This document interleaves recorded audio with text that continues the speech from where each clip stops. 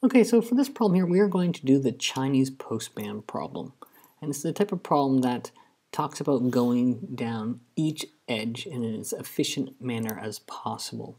And if all the degrees, if it's a Eulerian, then uh, it's just you add up all of the edges and that is the solution to the shortest path.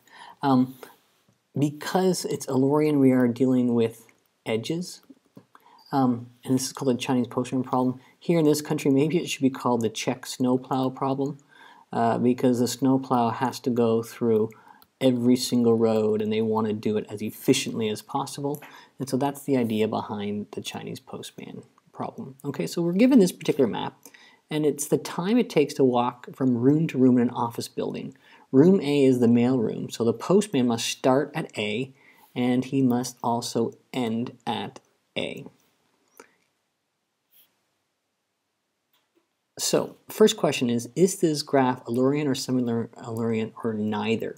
Well, if we look at this, we count up all the vertices, the degree of each of the vertices. This is 2, this one's 3, 2, 4, 2, and 3. And so because there are two odd degrees, it is semi-Eulerian. In doing this, we want to solve the Chinese postman problem for these weighted edges. And note we include the edges needed to be walked twice, the minimum time taken, the route, possible routes taken.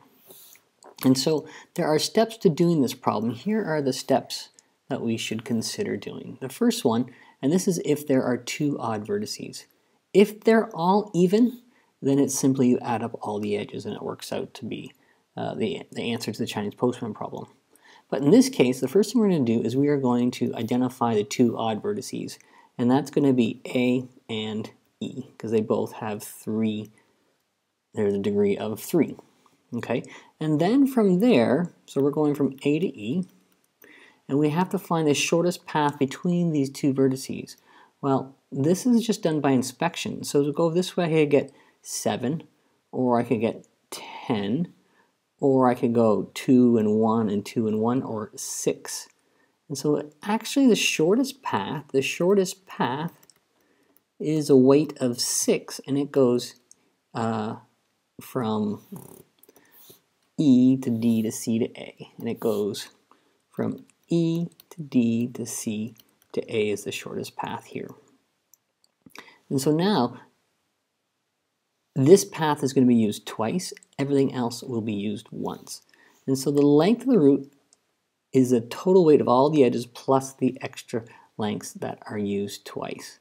And so if I'm going to do this, I add up all these values. It's going to be 4 plus 3 is 7, plus 10, 17, plus 3 is 20, plus 23.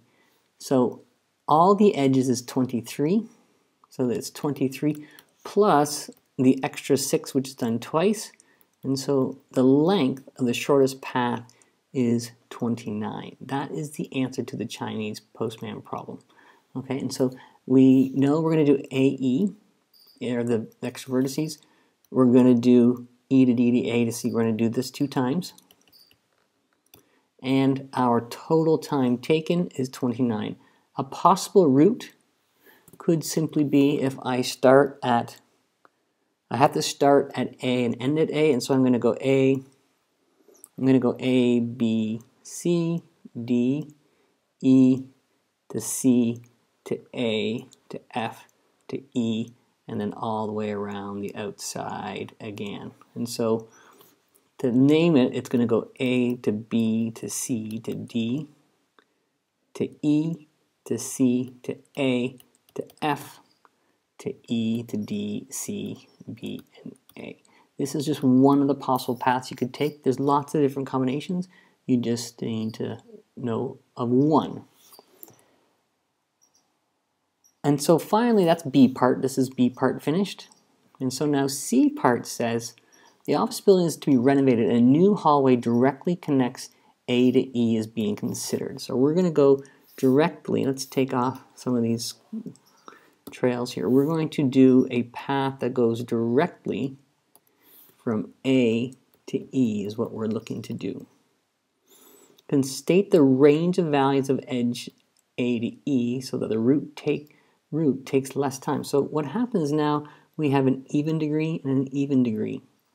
And so it means I'm not going to have to do this extra 6. If I want to cover this and if I want to take less time, then this has to be less than 6, this path. And so the total weight of this route, so AE, has to be less than 6, and well, it's got to be bigger than 0, between 0 and 6.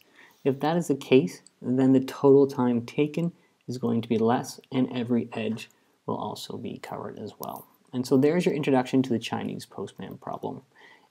Any graph that you're trying to get a complete route through it all, covering each edge, is the Chinese postman problem.